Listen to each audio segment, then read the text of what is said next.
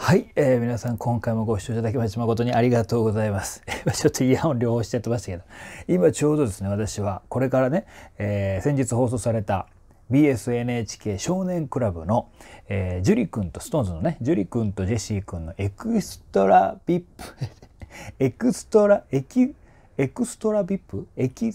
EXTRA VIP のはい、歌声解説をしたいと思ってですね今その VTR を見てたんですよ録画したやつをね。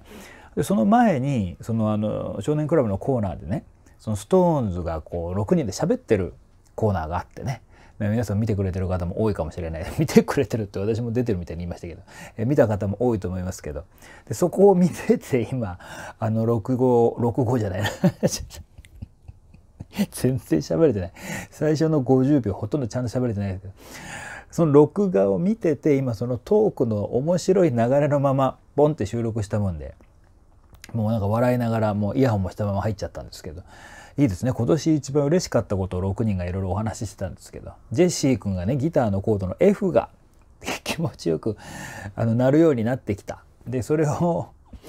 聞きながらお酒飲んでうまいみたいなそれ一人で見てて今声出して笑っちゃったんですけど。でその後に大河君がね腹毛が右手のこのね、二の腕って言ってますかね。ここにこう腹毛ができたよという。話をしてて最後に森本君が家のご飯が充実してるということで、えー、いろいろ取り寄せて食べてるけどいくらが一番美味しかったよという話の後にそれでいいかとみんなでいまいちこう盛り上がってないんじゃないかというところで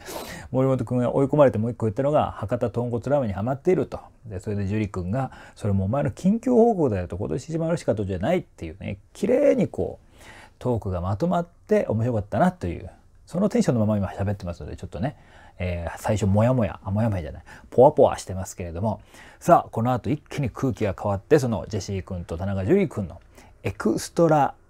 VIP。はい。を今から初めて見させていただきたいと思います。もうこれはあのちょっと前にね私が頭から全部見て解説させていただいた on eST というね SixTONES の、えー、ライブツアーの、えー、DVD の中にもブルーレイかあれ、えー、入っておりましたけど非常にね大人なというか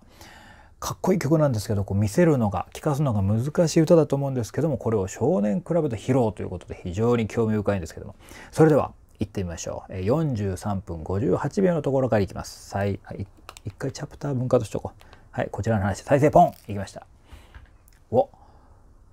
深い椅子にこう座ってで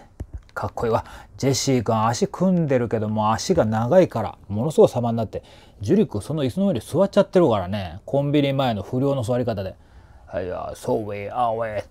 べんぺんのそうそうそうそうがらっ。はい、私の適当な英語でました。じゃじゃじゃちょどがじゃしゃがじゃじゃじゃじゃじゃしゃしゃしゃわからがる。全然わかんないですよみんな。開けるまでかっこいいけどもうジェシー君もお尻 椅子から落ちんじゃないかってぐらい前まで体重いってますけど。うまい。アイフェアレンジがすごい。わわわわわわしゃしゃ。I say, hey, just a day. 重力、ほうわば、すごいよ。ジェシー君足がもう椅子の上で。まっすぐ上上がっちゃってますからね。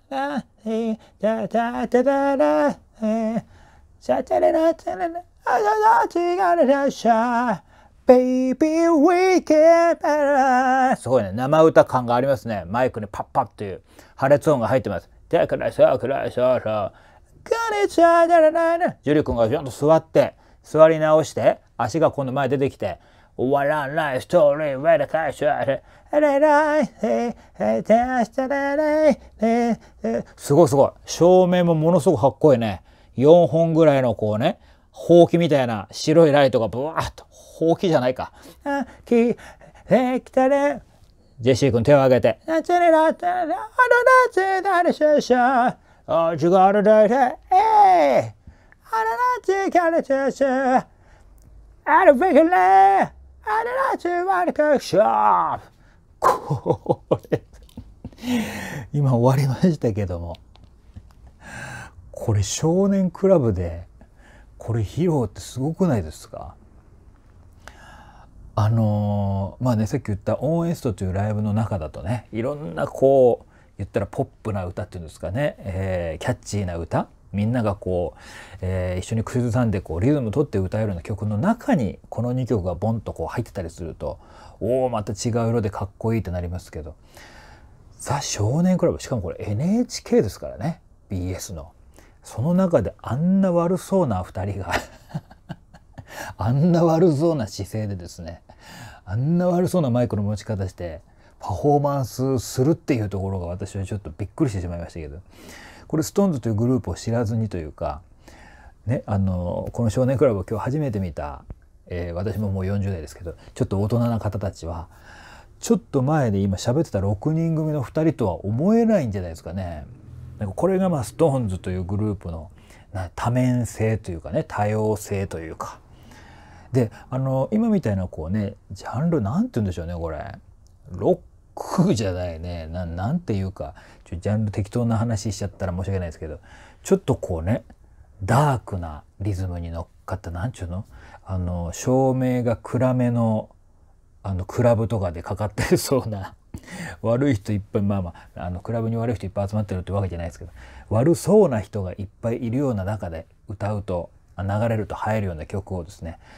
あんな6人が楽しく喋ったらあんなトークできる子たちがキャラクターとしてこう演じながらできるっていうね。で、まあ、ジュイ君はもうねラップはもう言ったら専門職ですから私が最初一緒にやろうと思っても全然できてないですけどもあのこうノリリズム感の良さそれからまあ何て言うんでしょうねラップっていうのは基本的にこう言葉を羅列してますからメロディーというものは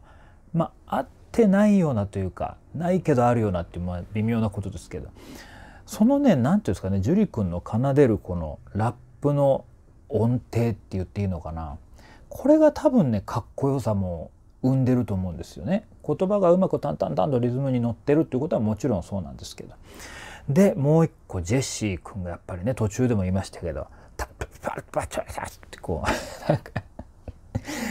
あのちゃんと歌っている感じがこのどうしてもねうんなんて言うんだろう「タッタタッタッ」ってこうアクセントの強い言い方をするとマイクには空気も入ってしまうのでああいうパッパッパッパッって音が、ま、入ったりするんですけど。でそれがあるのでこれも確実にこう生声でね歌ってたと思うんですけどあれだけこうね足を動かしながらとかこのキャラクターをこうねちょっとこう悪いもの悪者風にしながらでもジェシー君のその歌い回し声の出方それから地声からちょっと裏声に行ってまた帰ってきたり途中でね CD 音源とは違うなんか「うわー!」とかアレンジを入れたりするっていうなんかジェシー君のやっぱいつも言いますけど引き出しの多さみたいなものがこのもう多分3分ないぐらい短い、えー、パフォーマンスだったと思うんですけどもギュッとこう凝縮されてる感じがしてね、まあ、こういう曲とまたね全然違うそれこそまあ最近だったらマスカラであったりとかそれからねこの間の発表になりましたけどスパイダーマンの、えタイアップがついたね。新曲とか。なんだっけ。タイトル。フォックスじゃない。なんかそんなやつね。うんなんかそういうのあるじゃないですか。はい。アルファベット4文字でしたよね。確か。そのローゼー。どうだ？とか。本当にいろんな。でもほら可愛いさ。あのいろんな歌もあるじゃないですか。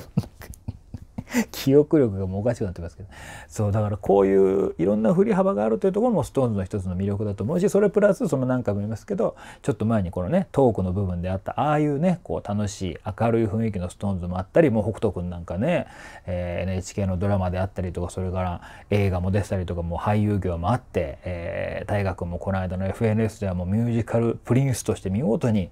えー、やってくれてましたしね披露してくれてましたし。